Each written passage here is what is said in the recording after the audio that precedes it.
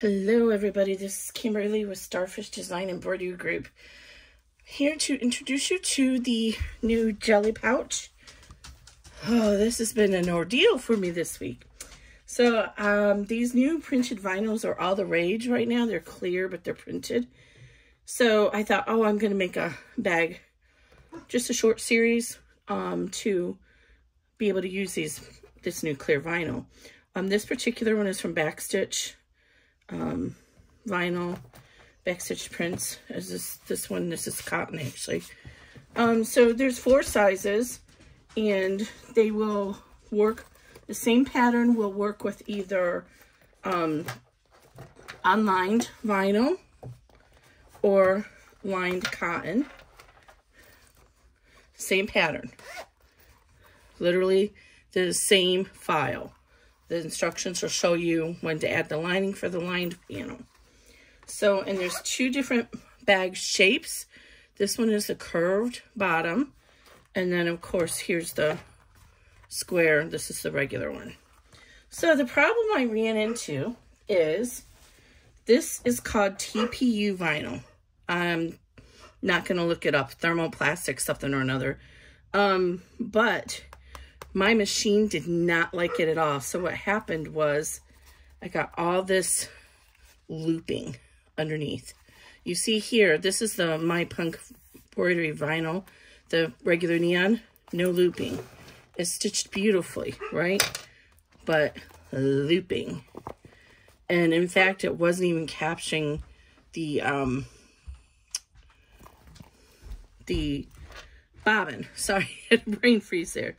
But funny enough, because it's a triple stitch, it ended up creating a chain stitch indirectly. So the construction is sound, but the inside looks a mess. So I'm like, okay, what am I going to do? I bought all this vinyl from them. I need to be able to use it. So I went around and tried a thousand different things. So in the process of that, I created a test file. So if you have not bought this pattern and you're just looking at the video, go to my group, Starfish Design Embroidery Group on Facebook. Go to the files and you'll find this test file. So this was my most recent test file. Um, and some of this vinyl is other makers vinyl, but this is the TPU. So this is the front. So I tried um, adding some of this uh, jelly vinyl because that worked for somebody else. Nope. So if you look at to the back, it's a mess. So actually every single test was a fail except the very last one. So this one here, um, uh, I don't remember what I did different on the top part here, but this was the only one that was successful. And so what I did is I wrapped the vinyl with uh, cotton. This is actually just a single layer, but a cotton and for whatever reason, see that last line? Oh, I remember now. Sorry. This was the regular tension on my machine. This, I increased the tension to 5. So on the Janome 500, which I use, at the system configuration settings, there's something called auto tension. Adjusting that had no difference whatsoever. When you open your stitch file, you'll see over here there's a, uh, the icons on the right hand side. One looks like a little right square triangle. If you click that, you can go in and adjust the tension. I My first test I did five, but I wanted to see if it would work with lower. So this is actually four. So that's how I got the good stitch on here, is I increased the tension to four and wrapped it in cotton. So again, this is the TPU vinyl. I will show you with these other vinyls that I've tested with. Um, for example, this one is from Fairy Tale Prints, which those of you who are familiar with Bows and Clothes, it's her daughter Morgan. She started this business and it's stitched fine. You can see underneath, it's stitched fine. So this is a PVC vinyl. Uh, this is a PVC vinyl from uh, same Fairy Tale Prints. It had no issues. Um, this is from uh, Purple Dragon, and it's just a regular vinyl, and it had no issues. So, um, this was my final test on the bags. And I didn't even it out because I was just testing it. And you see it stitched perfectly. So what I did for you guys, this doesn't look very good, right? It's the, the stitches are here and you have too much looseness here. So what I did is this pattern. So there's a separate separate set of files um, called TPU. They have an underscore TPU on them. And that is meant to use with bias binding or if you, where is the other one I did my test sample? Where I used this one. I used the neon vinyl from my punk embroidery with my regular tension. It wasn't perfect, but it was acceptable to me. If I had increased the tension, it probably would have been perfect. So that's with the neon vinyl. And you see here with the double layer, I, I didn't even increase the tension here. And I just had the double layer fabric. It was a little bit nicer. Um, but yeah, so this, the normal um, top stitch is this close together. So normally this is a stitch and flip. You stitch it, which is this one. This is your construction stitch. It gets hidden. Then you flip it down and do the top stitch. And this is a 3.0 millimeter bean. Um, I need a little bit smaller stitch to be strong enough. But I did make both of this, the construction and the uh, top stitch the same. So if you prefer, you can actually take, oh, do I not have a sample right here to show you? You can actually take and butt your vinyl right up to the zipper. Let me do it on the green part so you can see better. You can butt your vinyl right up to the zipper and run those two stitches and not do the stitch and fold. If you think your bag, your pattern won't, or your machine can't handle it. Also, for the online bags, you can stitch right up to the zipper on any other vinyl except TPU. And instead of turning the bag inside out, you can just put, when you get to the step where you put the back on, you put it right side facing down on top of the hoop. If you instead put it right side facing out on the bottom of the hoop, so it would be like this, your right side is facing up like this, you'll have a flat bag that you don't have to turn and you can either leave the edges raw or you can wrap the edges with um, like some, I bought the wrong size, I wanted half inch finish, but this is fold over elastic. So you can wrap those raw edges all around and sew it on a sewing machine. And so you would just wrap this around your raw vinyl edge like this. And then sew it all around. And then you'll have a flat bag that you don't have to turn. And it might be a good option for those of you who have arthritis or something like that. I did not demonstrate that version or put that. I just, just explain it in the PDF. Um, but that's just another option. By doing the turn bag, you get some extra volume in there. And so the vinyl doesn't stick to each other as much. Okay, so what else? Um, this is a fabric vinyl combination. So I interfaced this with Sewfuse Plus. And then it's got the cotton lining. Of course, it's, uh, you know, you just glue based or so that closed. They're all the flat front zipper. Um, so there's four sizes, um, four by, five by four, six by five, seven by six, and eight by seven. So they're meant to just be, they're not meant to be crossbody bags. They're small bags. This, you could throw a whole bunch of change and bills in there for your kid for their lunch pail. Um, some of them I just added a tab on and not a D-ring strap connector. Um, some of them I just added one of these pretty little back decorative bag tags I get from Moremeknow. Um, did I add a D-ring strap to any of these? I thought I did. I did, but I don't have that one here. I don't know where that one went. Okay, so you see I did a lot of testing here. This is actually probably the first bag I've done in a long time that I've ended up testing everything myself. So, um, let me see which ones you'll see that um, this was actually my first curved. It wasn't curved enough for my liking, so the final curve is this. And then this is the jelly vinyl. Now, I, I got this on Amazon because I was in a time crunch, but just to show you, it stitched fine.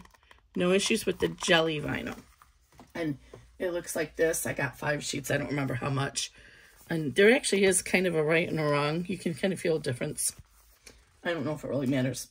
Excuse me, in the long run. Um, but so you'll see here, this, this is the stitch and flip method. So we stitched it down, then we flipped it, and then we top stitch it. So there's a placement on both sides. So if you want, you can put uh, a cute tab over here. And this tab just makes it easier to kind of open. And you can put a split ring through that. Um, but again, you can put a lobster clasp or a D-ring or anything like that in here. So again, this is called the jelly pouch. So you'll have eight files in total for the square bottom or the rounded bottom. The same file, you'll load the same file whether you're doing the online version or the lined version. So with the online version and the lined version, we do the final stitch around for the exterior combined. And then we'll do another little stitch that's partial right here that will be where you normally turn it. And then if you're doing the lined version, you put the backing on and then do the final step.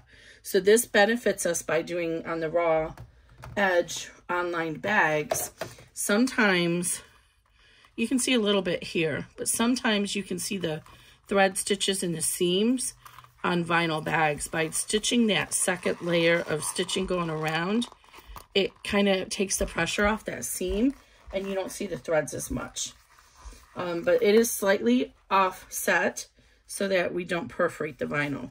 But again, there could be some vinyls that cannot handle all the stitching. So that's why you have your test swatch. Run your test swatch with the materials you're going to use.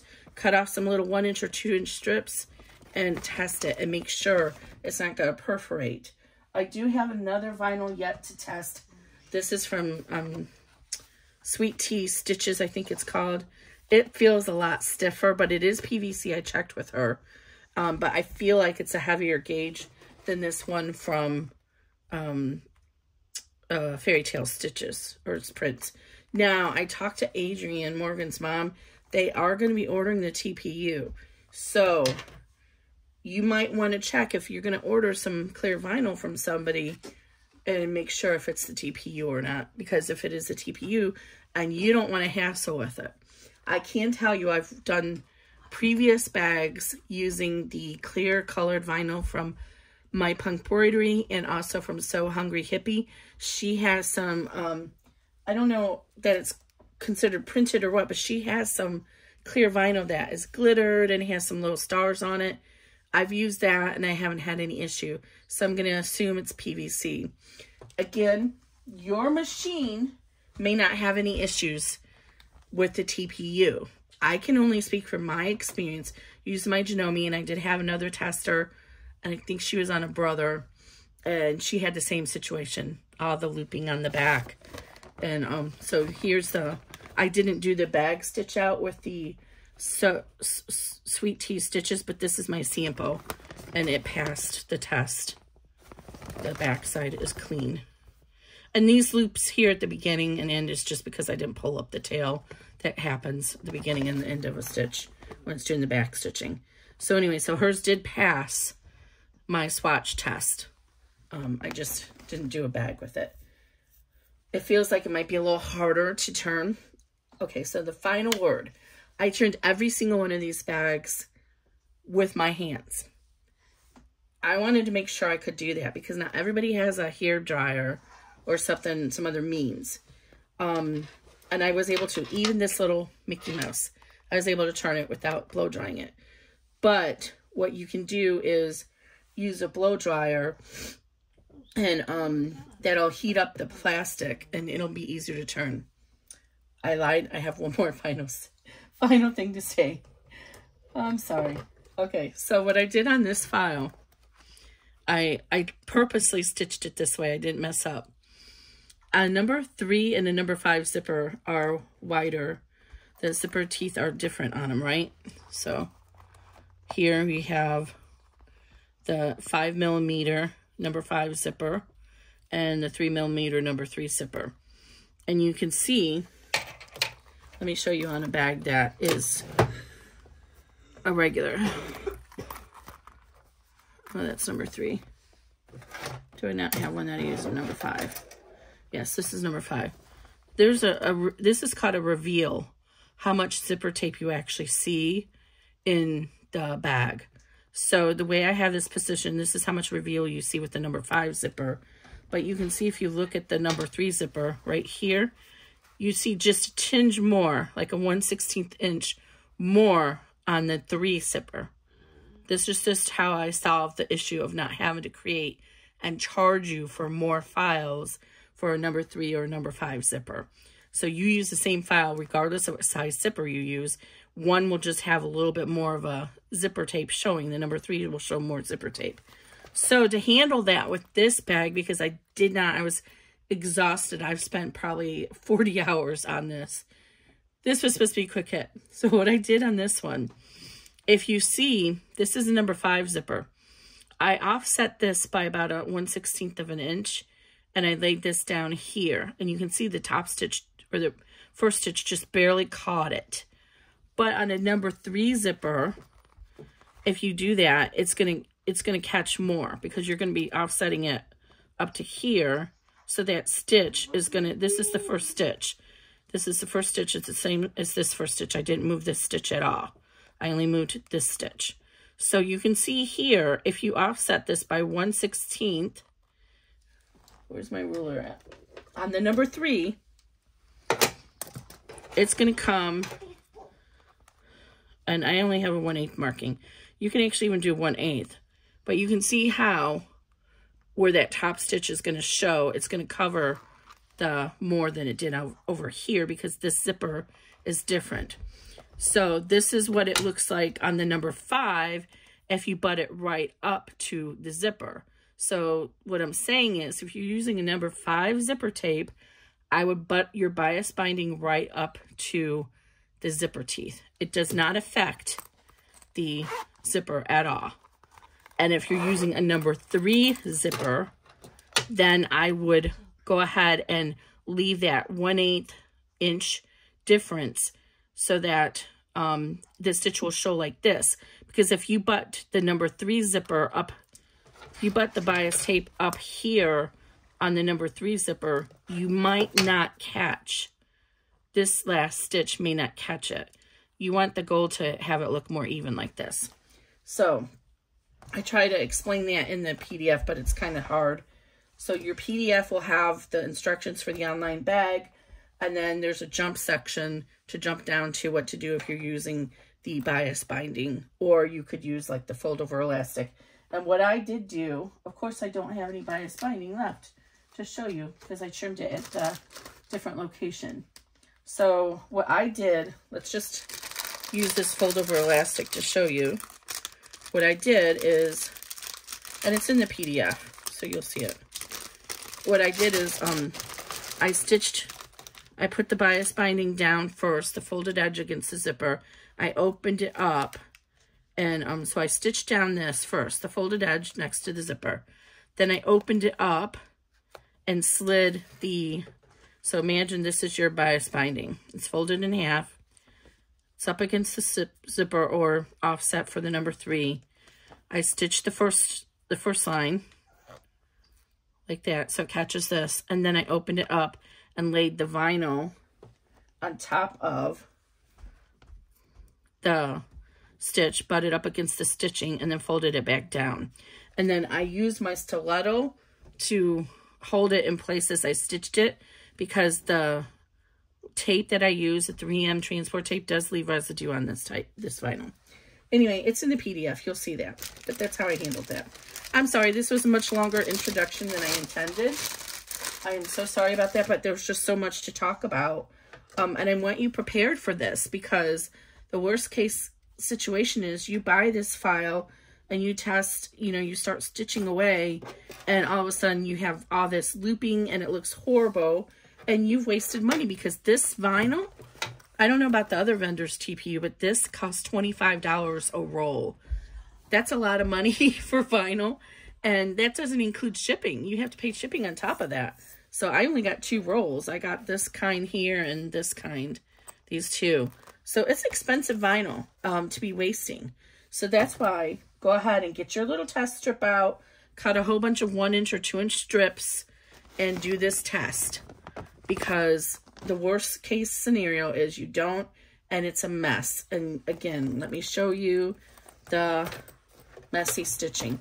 And I mean, at the end of the day, somebody's probably not going to notice it because they're going to go like this, but you can see it. And if you're trying to sell at an upscale boutique or something like that, or uh, uh, upscale craft, you don't want to be selling something like that. That doesn't look good. So at the end of the day, you want to have very nice stitching that uh, looks nice when somebody opens up the bag. Okay, so that is it, guys. And again, you can line them or whatever. The line bags, where's the two line bags I did? These are lined, and then the opening is right here, and I just use glue to close mine. And fun little bags. You can use them for who knows what. so, um, this is the largest one. And let's see, what does it end up finishing to be? Uh, about seven by six and a half. So, give or take. Okay, so let's get to this. We are going to be stitching out in this video this sample right here. And you will see all the looping as we go along. Um, I didn't want to do another video. So you will see this as we go along. This is the sample we're going to be doing.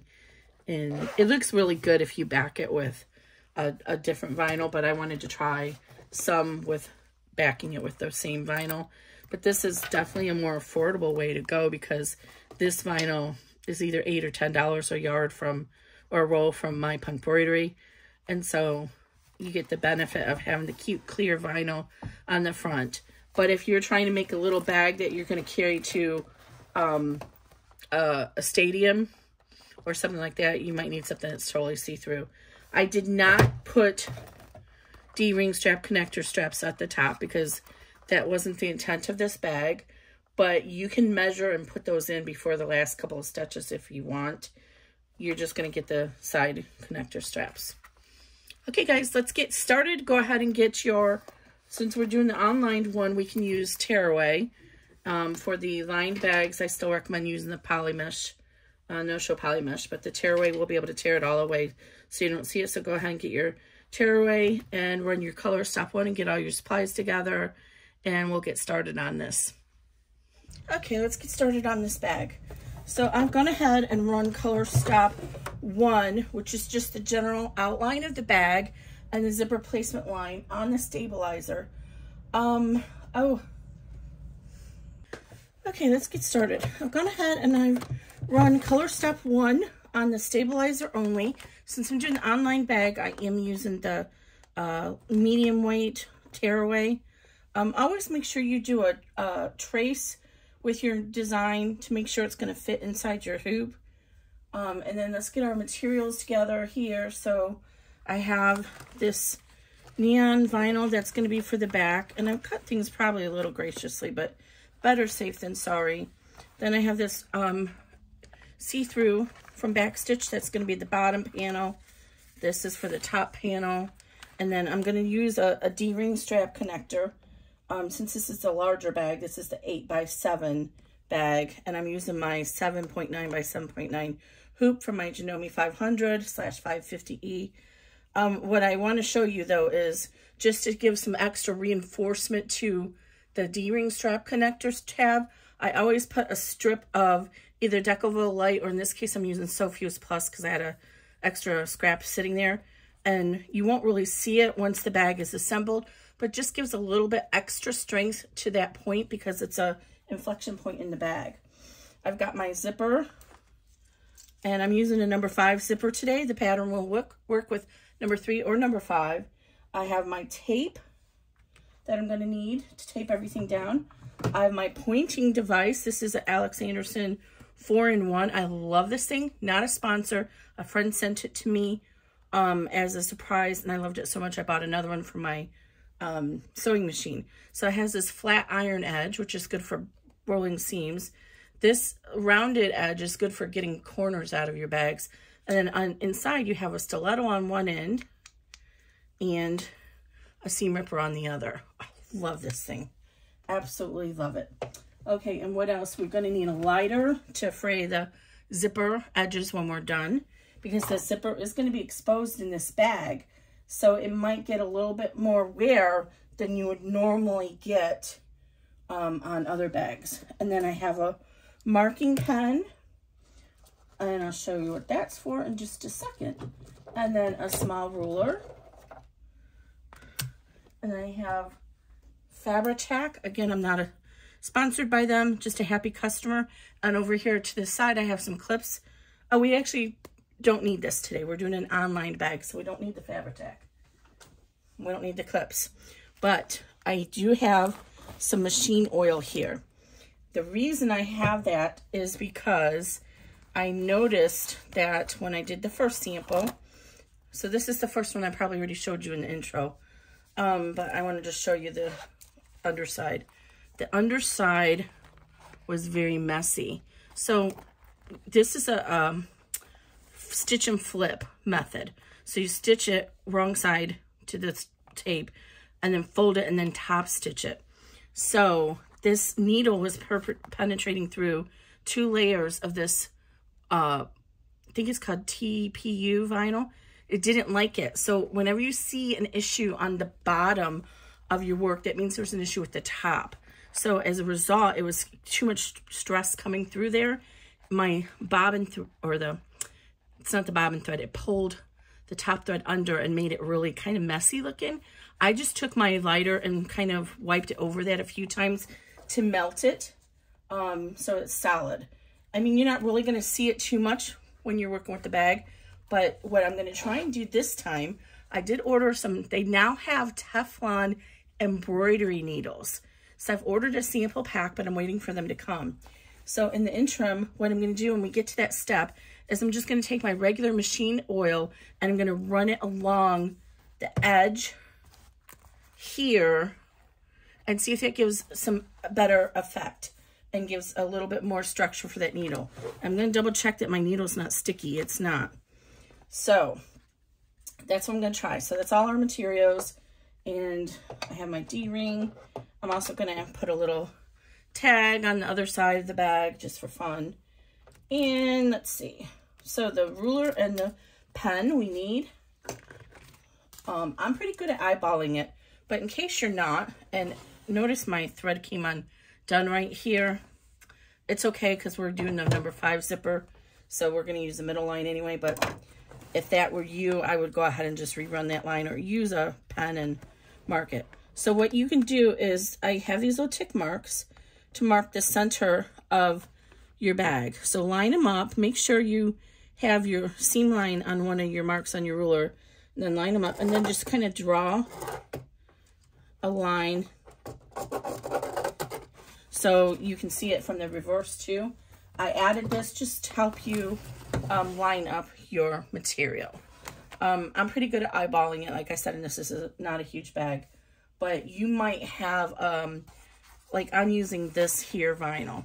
Let's say, for example, I wanted to make sure this motif was right in the center front. I would go ahead and fold my vinyl in half and mark it right here and then line that up with my tick mark so I can make sure it's centered. I'm not worried about this on this one. It's too wild. But on other vinyls or materials, that might be important.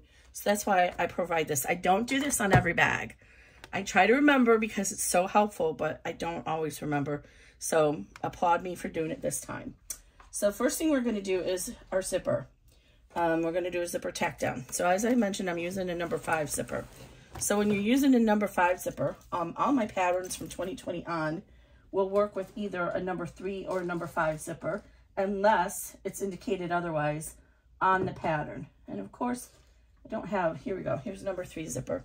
So the difference between the number three and the number five, and uh, fast forward through this if you guys already know this because you watched my other videos, is the number five zipper tape, the the millimeter of the actual teeth is five millimeters. That's first part. The second part is usually it's one and a quarter inches wide. I've had some that are wider and more narrow. A number three, the teeth are three millimeters across And generally, as always, the zipper tape is one inch across. Again, I've had some that's 7 eighths inch. I've had some that's 1 and a 16th inch. And here, I actually have this one sitting here um, handy that I can show you. This is number 5. It's sold as number 5. But look at that. It's lined up on this side. It's not a hot one and a quarter inches wide. It's one and uh, what would that be? Five sixteenths. It's about a sixteenth of an inch wider. So if, if I were to draw lines for you to center a number five zipper, it wouldn't work because every vendor is different. Um, this vendor is, let me see, is this one that's a more narrow one? Yes. This vendor tape, it may be the same vendor actually as this one, I can't remember. But see how that one, which actually has resin teeth, which I'm not a big fan of, this one is resin. These are polyester or nylon. But you see how that one is actually a 16th of an inch more narrow. So they're all varied. But by and far, a number three, I don't see much variance in the number three zipper tape. It's usually always one inch wide. So by and far, you're going to be okay with that. Okay. And I feel like I'm talking a mile a minute. Sorry about that. Let me see if I can wind myself down a little bit today. So with the number three zipper tape, you're going to notice there's three zipper placement lines. This is the top of our bag. This is a front zipper bag, meaning the zipper is on the front as opposed to a top zipper bag where the zipper's on the top.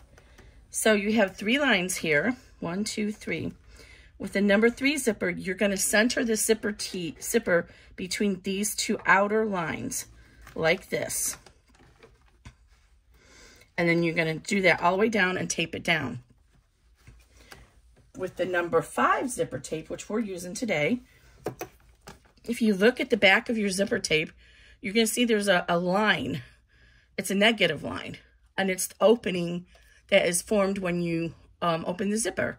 But you can actually see that it's a line. So this is the direct middle of the zipper tape. So we're going to line up this line. And if you can't see it easily, um, some zipper tape, it's harder to see. Use a marker and mark it because it's going to be on the bottom of the bag. You're not going to notice that. So go ahead and mark, line this up with the center line all the way down the bag.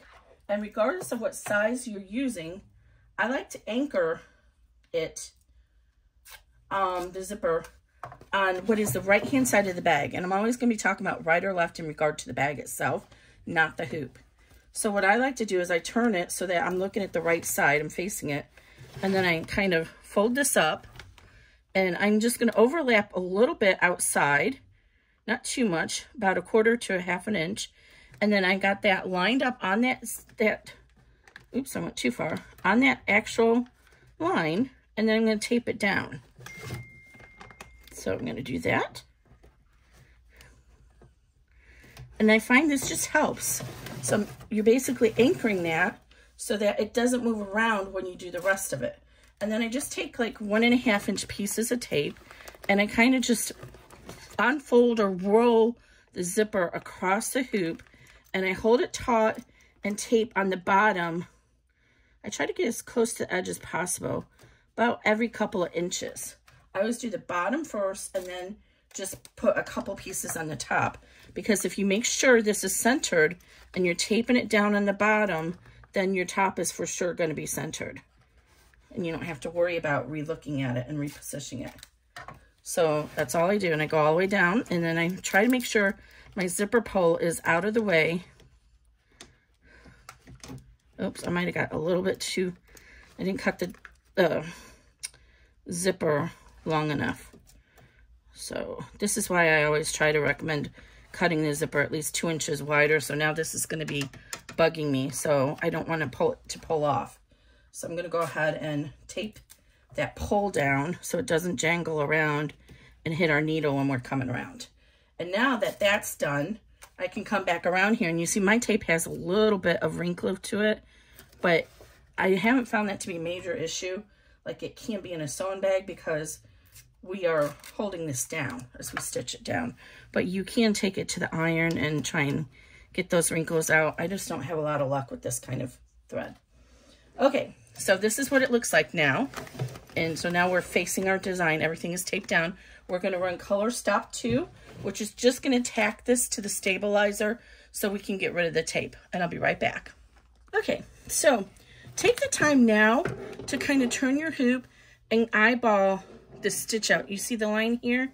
And make sure it looks relatively even on both sides because if you got your zipper um, wonky in any way, then the amount of zipper tape that shows in the reveal later will not be even. Um, and that's important on, on this style of bag. So again, we're working on the unlined bag here. I'm not doing a separate video for the lined bag because it's no different than any of the other um, patterns that I've done like that.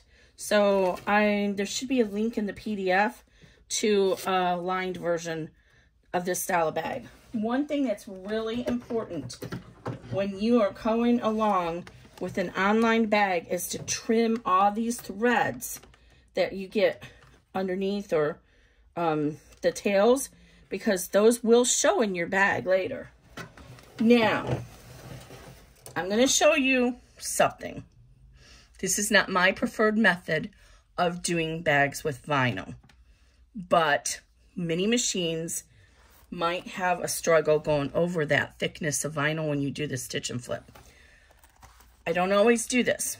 Generally, when I make a bag, I do the construction seam, which is the first seam when you stitch the vinyl down at 2.5 millimeters because it's a smaller stitch length, so it's stronger.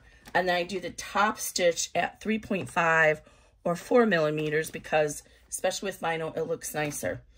But because this is an unlined bag, and I know people are going to do this, I made both the construction and top stitch 3.0 millimeter so they match.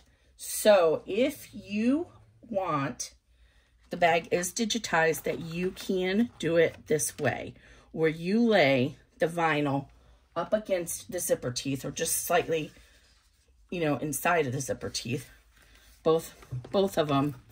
And then when you'll do the two step steps, the one is the tack down and one is top stitch, you'll have two lines of stitching. Those, that line of stitching will be the same size and it'll look okay. The reason I did that is because I noticed people do that with my other bags. They don't want to do the stitch and flip with the vinyl and the, the seams aren't even then. And I, that's fine, but it's not the way, I'm the digitizer, it's not the way I designed it. So for this one, I did design it that way. So if you want to do that, if you don't want to worry about your machine trying to go through two layers of this clear vinyl or even the top vinyl, then go ahead and just kind of, what I would do is I would leave about a 16th of an inch between the edge of this and the zipper teeth so that you don't risk um, infringing on the movement of the zipper pull. So can you see that? Get a ruler if you have to, but just about a 16th of an inch. And then just tape it down um, all around. And then you'll just leave it like this for the next two color stops. I'm not going to do that though because I want to test my oil solution here. And I it's not my preferred way. I like the look. I think it adds more integrity to the bag. And you see more of the zipper. Okay, so we're going to face this down. Again, fold it and mark the center if you have to meet up your center. If it's directional like this is, you want to lay it so that the direction is in the right order and then just flip it up. And then when you're done, it'll be in the right direction. So we're going to go ahead and make sure this doesn't go beyond the zipper. So line it up with the bottom edge of the zipper. And you can do that on both the number three or the number five zipper.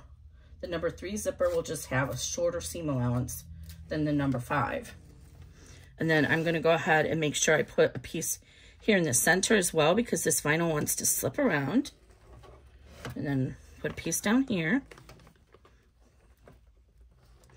Now I'm using Transpore tape by 3M and my experience, it, the needle can go through the tape and it's okay a number of times.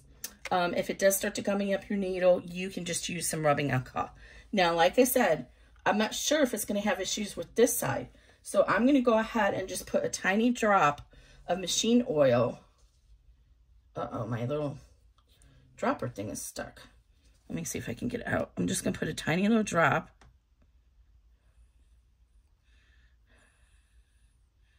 Like that. And I'm going to rub that along this bottom half inch or so.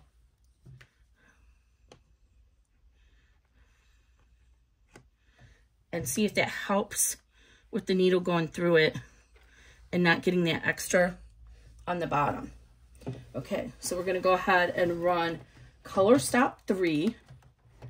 And I'll just leave the machine on for this one um, just because it's a fast stitch.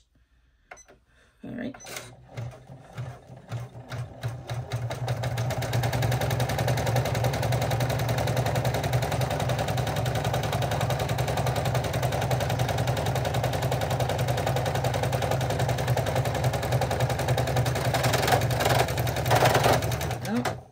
I'll be right back. Okay, sorry about that, guys. I thought about editing it out, but this is real embroidery world. So if I don't show you mistakes, I can't show you tips and tricks on how to resolve them. So did not like that. The oil did not help. And my thread got all gobbledygook again. So I had to pull all that out. I pulled my um, vinyl down a little bit because I don't want to go through those same holes. And what I did now is, so my second thought is, maybe it's the needle. So I've moved up to a 100 needle, and let's see how that does. And that took longer than I wanted to pull it out because that was a bean stitch. So we're going to try a 100 needle now. Let's see if that works better.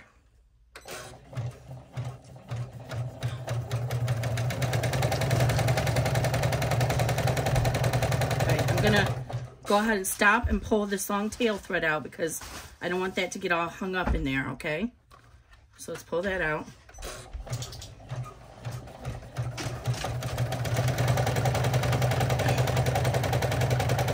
So this vinyl is a little dense. Um, I think one of the things that we don't think about often Oh, this is really good. I can show you two things. Now I'm going to have to pull this out again. One of the things we don't think about is how dense the material is we're working with. So it's not just a matter of how thick it is, but how dense it is. And I have noticed over time working with some of those vinyls that have like the flannelly backing, they almost feel like tablecloth material. They do not do well with our embroidery machines. Now, look what happened. Can you see underneath there? Look how close my stitch is to that zipper teeth. It's not supposed to be. So somehow, when that thread got all hung up, it threw my machine out of alignment, and now it's not lined up right. So I'm going to go ahead and do this offline, but it's important that I show you this. I'm going to have to go through this again. I'm going to pull these stitches out because if I leave it like that, then when I fold it down, it's not going to look good. Um, and then I'm going to restart my design because if that is off, See how it's really close to the zipper teeth right here, but it's not over here. If that is off, then my whole design will be off. Now on the back, it's still, there's still some areas of messiness, but it's a lot nicer with the larger needle. So I will be right back with you. Okay, um, I actually changed my mind. I did restart my design, but I'm not going to pick out these stitches. I'm just going to live with it because um, it's going to damage my vinyl. And I don't know if you guys know Backstitch, but this stuff is expensive. So I'm just going to live with it. So what I'm going to do now is pull the tape off. And I'm going to try that little oil trick again on the top. So if you get into your stitches, like right here, just hold your stitches down and pull the tape the opposite direction. All right, and so then what we're going to do is fold this down. And always keep it at a, against a firm space, firm desk or whatever. And then go ahead and rub it and then tape the sides down. But using a boning tool is really helpful for this. You can get those from the scrapbooking aisle. Um, but it's really, I have one, but I'm in between uh, storage area things right now. Because I'm trying eventually to get my stuff re design or re I can't speak today. Reorganized over here. So I'm just going to try and tape these down along the edge. And then I'm going to try and do that with the oil again. And I feel like I'm going to run into the same issue that it's not going to like going through this thickness. So um, if that's the case, I'm just going to live with it. And I'm going to do the same thing I did on the other one. I'm going to put, uh, burn the edges of it. And then I'm going to put some uh, glue behind it and let it dry. Okay, so this I'm going to run, we're up to step um, four now. So I'm going to run four and I'll be right back. So that didn't help. It's still pulling the thread up. So I did rethread my machine just if you guys wondered about that. So there's just something about this particular vinyl that the machine, I do have those Teflon needles, but you see the stitches are pretty secure. So all I'm going to do is take my lighter and just kind of rub it quickly along here and it'll help melt those and it'll just make it kind of look like a ribbon and it, the stitches are secure. And then just put some glue on it if you're worried about it coming out. But if you look at the front, it's nice and holding it down securely. So the oil didn't really help much. So I'm going to use, um, oops, I almost put oil on it. I'm going to use some spare cotton here and wipe the oil off. And I'll show you after we do the, the neon vinyl and you'll be able to see the difference. Oh, I'm going to wait and put the glue on it when we're all done. Don't want to do that right now. Just one moment. Next step, number five, is going to be for the D-ring placement um, or you know, on the smaller bags, um, let me try and get this little pull out of the way a little bit more. On the smaller bags, I actually just used um, the little tabs. Where they at? And so, because they're small, so I don't really see you using this as a wristlet.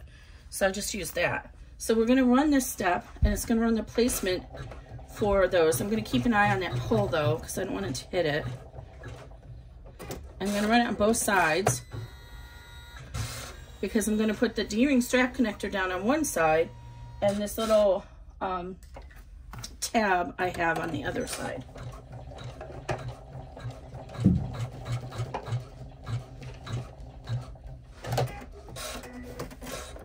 Yeah, it really doesn't like this vinyl. Did you hear that sound of the thread cutter? Didn't even like it. Okay, so let's wipe off this oil. Um, the alternative thing that you can try um, is to use some bubble uh, plastic wrap style WSS water soluble stabilizer on the top and bottom and that might also help. But I'll be really curious when I get those Teflon needles. I'm gonna do another test and see if they work better. I wish I could show you the feel of this vinyl so you could understand how it's so much denser. And this is the TPU. The I saw some comments, the PUL style is supposed to be even worse. Unless I accidentally ordered the PUL. I need to double check that. That could be part of my issue. Okay, so first of all, where's my little strap connector and my D-ring? And um, I cut these so that you have a little bit extra material hanging over when you cut your strap connectors, um, even with your bag seam allowance, you give no ability for movement in that juncture. And what will happen is if this is a seam here and you only have this tiny little bit of seam allowance in there, over time it's constantly getting pulled on and pulled on and that strap is going to come right out of that seam. But if you overhang it like a half an inch, then over time as it's pulling, pulling, pulling, there's a lot more give there and it's not going to be as likely to come out of that seam.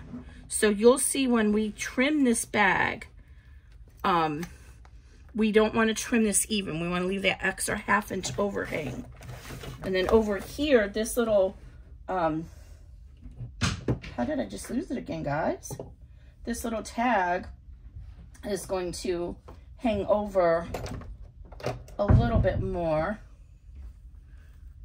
How did I just lose it? Oh, there it is. Okay, so it says, be the rainbow and the cold. So I think I'm going to have the be the rainbow be on the top. So here's the little stitches right there. So I'm just going to line this up with the top. Now this is, um, you need to have the raw edges on the outside, Kimberly. This is uh, going to be a little bit um, longer than that. So the, the tack down is not going to cover it fully. And that just came undone. I'm going to have to retape that. So, but it'll be I'll hold enough and it'll get caught in the final seam. See, I put that um, oil on and now nothing wants to stick to it.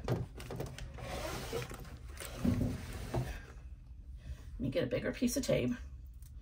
We don't want to put our fingers in here when we're working on this stuff. We want to keep it, our fingers away. That's why I like the um, stiletto tool thing because you can put this in and help guide stuff without risking your finger. Because I don't know if you have been to the hospital lately, but getting a needle surgically removed from your finger is pretty doggone expensive. All right, I'm gonna run step six and I'll be right back.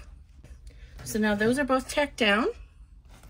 And now we're ready to put on our top band.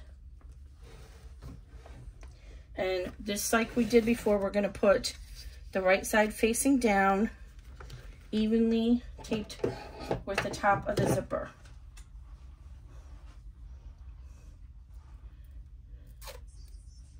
And if it's directional, the same thing applies. Put it in the right direction, like this, it's gonna be, and then just flip it down.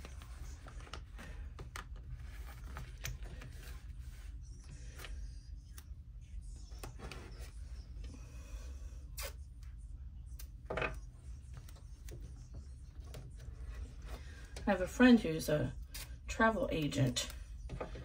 So she gets really excited. Well, I don't know if she gets really excited, but I get excited to share with her any of these kind of designs because I can't sell them. Um, because they're they're samples, right? So anyway, but she'll be excited to get this one. Okay, so I'm gonna run step seven and I'll be right back. I wanna show you the back. See how nice that stitch is? So it's not the it's not the machine, it's not the thread, it's not the needle, it's the vinyl. The differences between how it's stitched out. But like I said, it's it's good enough. Um, you're not really going to be looking at that part of the bag and it's structurally sound. So I'm not going to worry about it. But I am going to try those Teflon needles when they come and see if that helps. Okay, so I'm going to go ahead and roll this up. And again, whenever we're finger pressing, we want to make sure our, our hoop is against uh, something firm. And then I'm going to tape this down at the top and on the sides.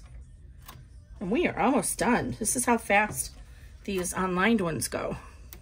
Because you don't have to do all that flapping back and forth on the back of the hoop to put the lining. Okay, that didn't like that, so let's put it up here. Okay, so now we're gonna run eight, which is the top stitching, and I'll be right back. Here we are. So I have our top stitching done. And again, look at the back. The stitching is neat and tidy. So I'm gonna trim off these extras here. We're ready to do our um, two last steps. So I didn't, I didn't mention this so much at the beginning. I didn't emphasize it, but this bag is the same steps for the unlined versus the lined. The difference is for the lined bag, you're gonna flip it back and forth and put the lining on throughout all these steps. So what we're gonna do is, this is gonna be the main bag exterior. We're gonna put down our exterior panel. We're gonna tape it down really well because it's gonna start at the bottom. One thing I wanted to show you is this piece is nine by eight for the eight by seven bag. So what I did is I marked on here the width direction so I wouldn't get confused because it's hard to tell by looking at it. So um, just that's just a little tip you can do. So we're gonna put this face down and step nine is gonna stitch all the way around and then it's gonna do another, come a little bit, about a 16th of an inch from the main line and do a small stitch here. And then you'll run step 10, which will come all the way around. So that gives us two rows of stitching. My first test, you can see the stitches in the corner too much. So I want to back that up and hopefully that'll help. And if you've worked with vinyl a lot, it's a little trick you do with vinyl is you put an extra row of stitching just to the outside of the original seam in the seam allowance and it helps take the stress off that joint. So that's what we're gonna do um, here.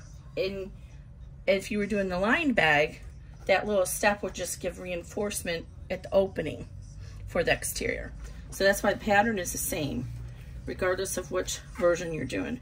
So I'm just gonna go ahead and make sure that I'm covering, I can see through here that original placement line and make sure that I'm overlapping that by, you know, a quarter of an inch to half an inch. We're gonna trim this unlined bag to a half an inch, but if you were doing the line bag, you would trim it to um, a quarter inch at the opening. Now, because we're gonna stitch from bottom to up to top, normally I like to stitch from top to bottom because some vinyl has stretch in it.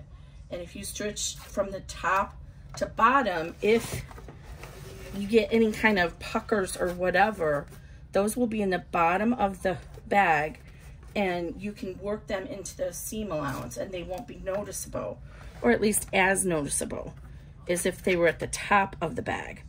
But due to the way I'm designed this to be all one file, I'm starting from the bottom. This vinyl doesn't have any stretch, so I don't have to worry about it. I'm just taping here, it's fine. But if you were doing um, a vinyl that has stretch in it, you want to tape all the way around really well so it doesn't pucker on you. Okay, so I'm going to run step nine and then I'm going to run step 10. Those are the last two steps. We're not going to run 11 and then I'll be right back. I'm glad I caught myself. Y'all, why didn't you yell through YouTube at me? What did I forget to do? We have to move, we have to open our zipper.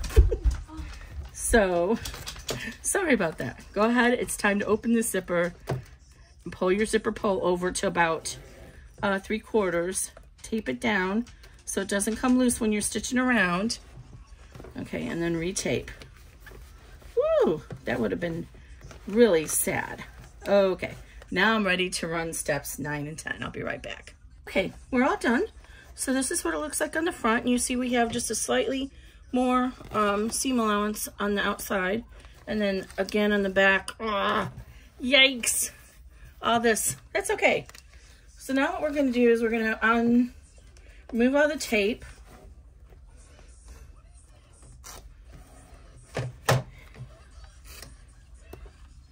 And then we're going to trim this down all the way around.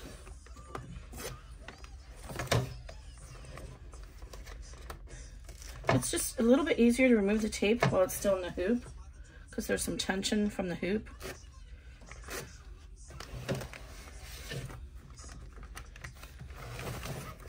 Is that it? Okay.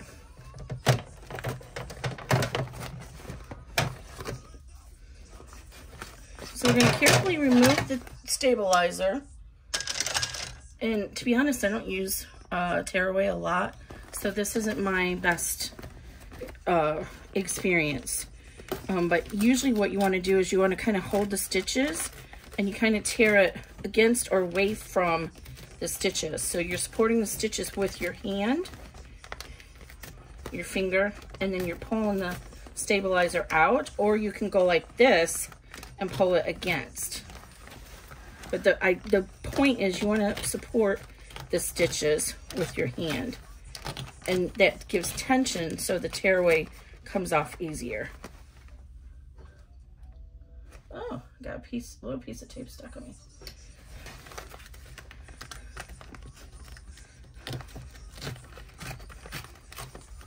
All right. And then you'll want to use your seam ripper um, to carefully remove the stabilizer behind the zipper. So what I like to do is I get my seam ripper same as I do with my poly mesh. I want to be able to make sure I can see my blade under that stabilizer and to just kind of glide it along here, along the seam. And it'll help pull it out of the seam.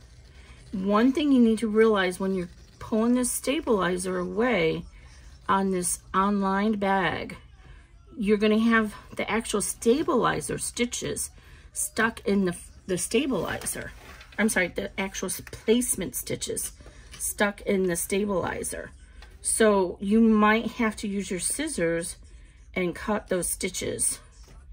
If you don't, you might risk them being entwined in your actual construction stitches and then pulling it out. There's a little bit of overlap for each of these um, at every intersection, but it's still a possibility that you could, you know, pull it out. So I'm going to go ahead and pull this here. And then see right here is what I'm talking about. That's the um, construction, the placement stitching. I want to cut that. And then I'm going to go ahead and pull this down here. And I'm going to do the same thing at the end here. I'm going to cut that because I don't want that extra to pull out my stitches.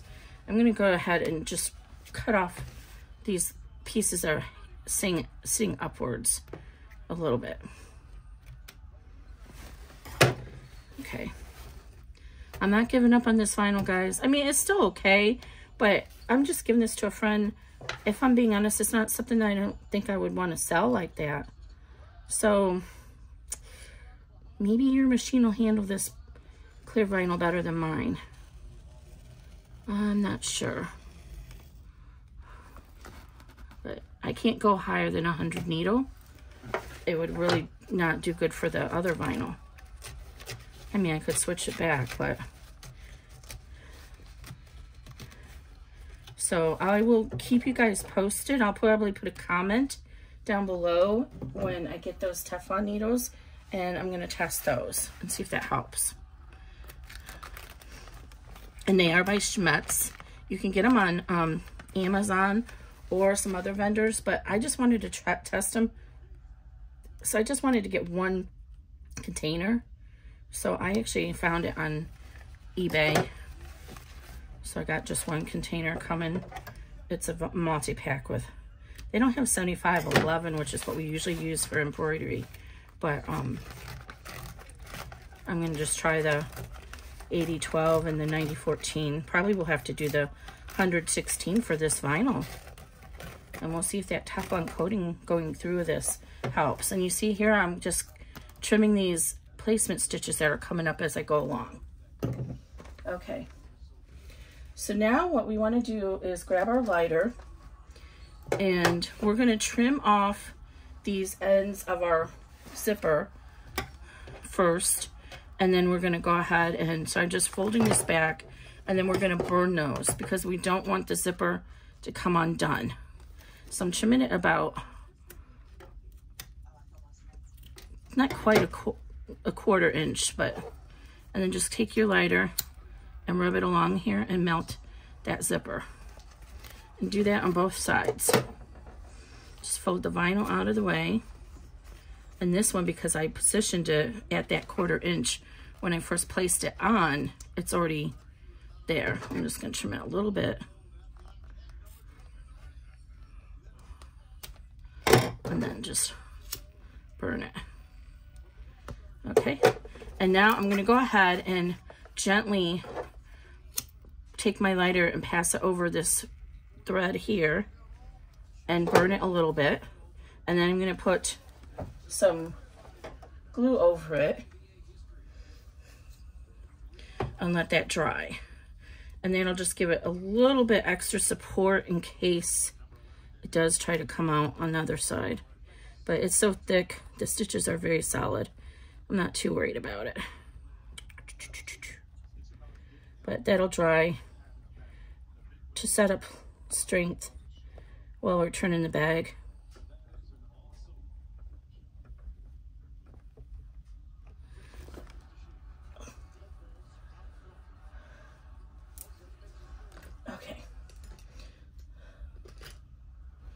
So I'm using my Kai um, 7205. I'm going to cut from this side so I can see better. So I'm just going to trim one quarter inch all the way around. And shave off these little ends because you never know where they might come in handy. Oh, let's make sure we don't cut into our, I almost did, I did a little bit, into our little um tag. And then the same on the other side, we don't want to cut into our D-ring strap connector. So fold this back towards you, out of the way, so you can see. And then go ahead and finish trimming your corner. Oops, I'm going to have to do that zipper again because it's a little bit more. Okay. And then flip it around and pull it to you this time and do your trimming.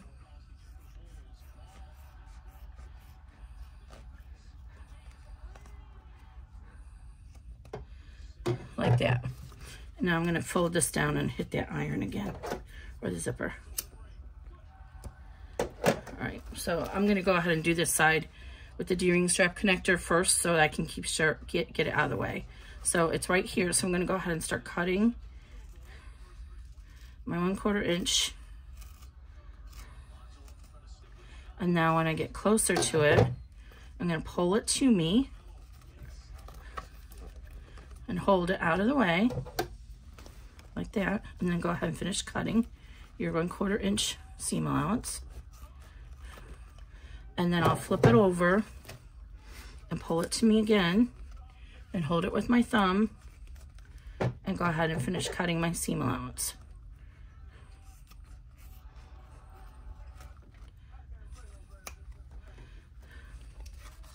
And that way I don't cut into my tab. You can pull it a little bit more over here too. I don't want to cut into my zipper again, but I want to cut this just a little bit more here. So always just fold these pieces out of the way that you don't want to cut so you don't accidentally cut it again. But you see that's a little bit too wide right there, so I need to trim it a little bit more. Okay. Now at the corners, a lot of times what people do is they just chop off the corner. I find that I get the best results when I actually taper the corner. So what I do is I come in like this on this direction and then at this direction I come in and I go like this. And I find that gives a better um, corner than when you just go like this.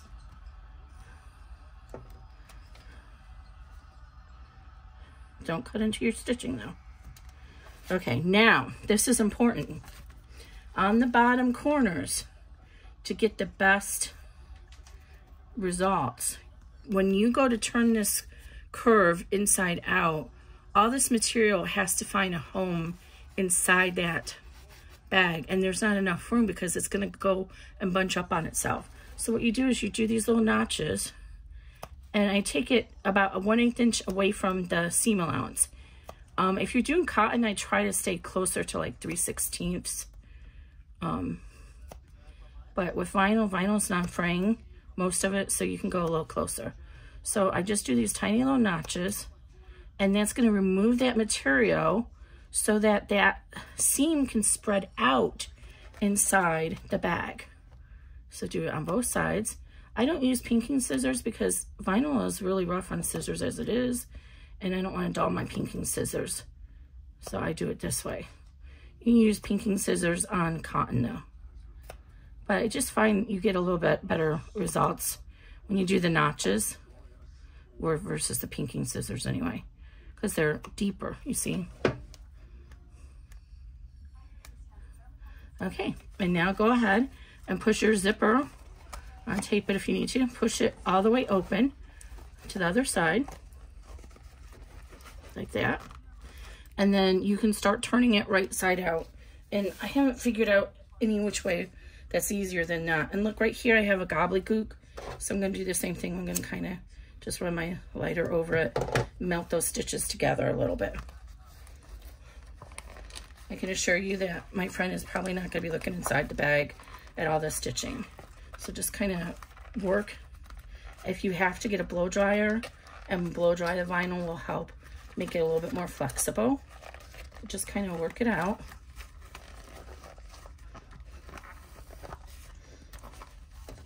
And then the corners here too.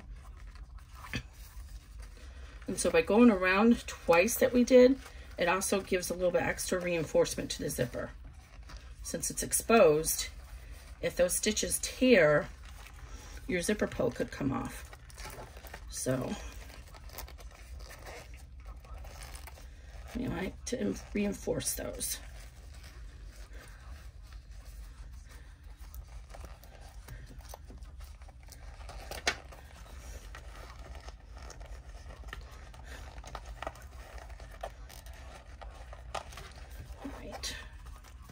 And you can already see inside how that seam is going to come together at the bottom.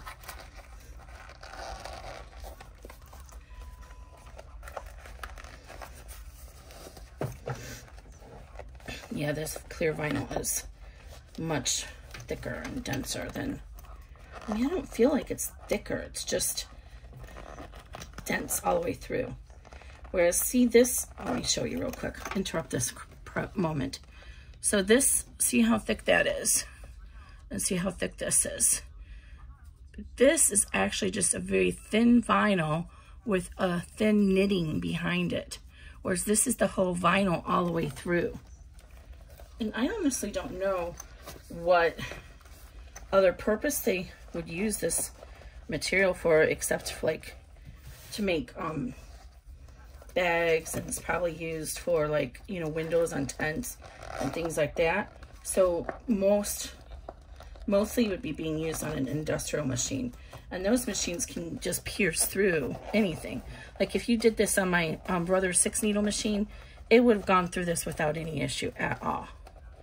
Um, but this machine's not that powerful because it's a domestic machine and designed to be embroidering on t-shirts and maybe jeans or something like that would be the most dense that it would be designed to stitch through. Okay, so what I'm doing is I'm reaching in there and just kind of pushing out the seam. And this is where this piece of the tool comes in handy. Put my seam ripper, is you can kind of rub it along that seam gently and push out the curve.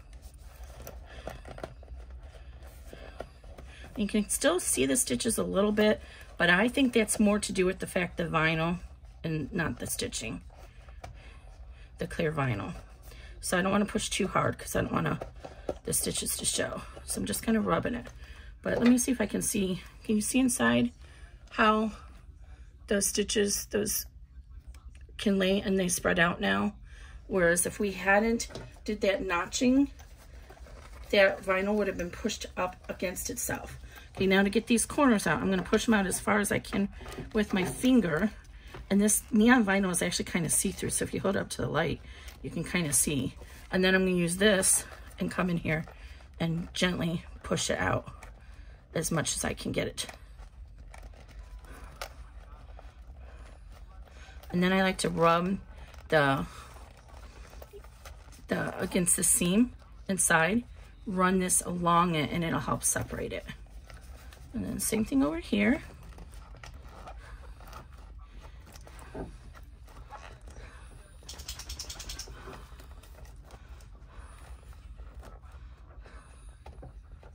Okay.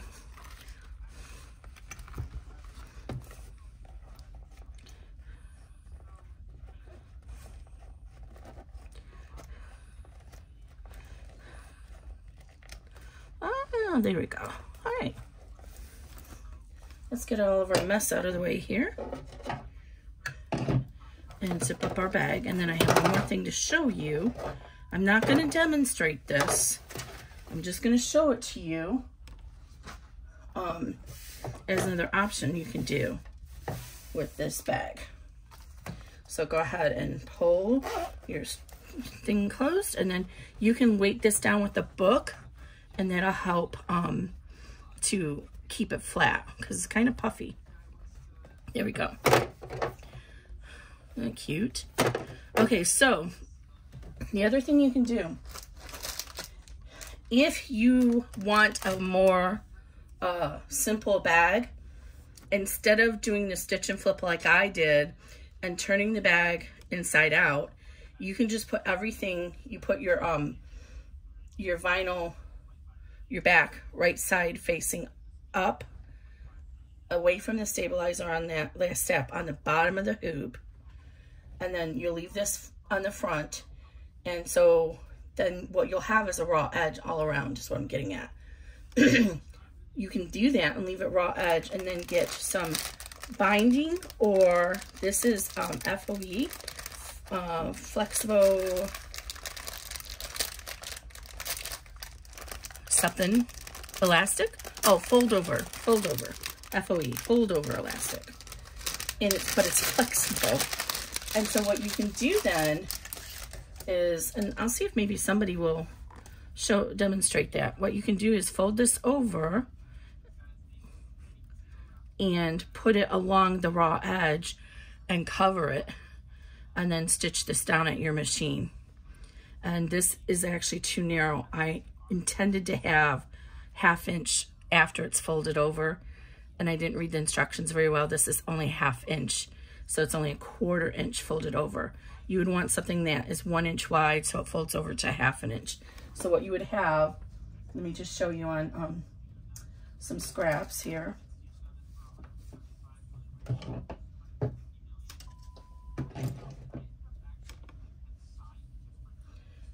Okay, so you would have your, this is the back of your bag and this is the front of your bag like this and it'd be all stitched together here. And then you would take your bias tape or your fold over elastic and fold it over the edge and stitch it closed. That's another alternative you can do with this bag. So again, if you want to do that, the final step when you put the backing on, you would put it on the bottom of the hoop with the wrong side against the stabilizer. And then just run those last stitches and then just take some bias ribbon and cover all the way around the raw edges. Now I'm gonna have to figure out what I'm gonna do with this fold over elastic I ordered. That's the wrong size. Oh my goodness. Kimberly, Kimberly, Kimberly. Don't do that. Okay. That's it, guys. Um, I hope you like this new little, cute little series. It takes me way too long to explain it than it'll take you to stitch it out. And again, the same pattern will be for the uh, or unlined like this or the lined. Have a great day.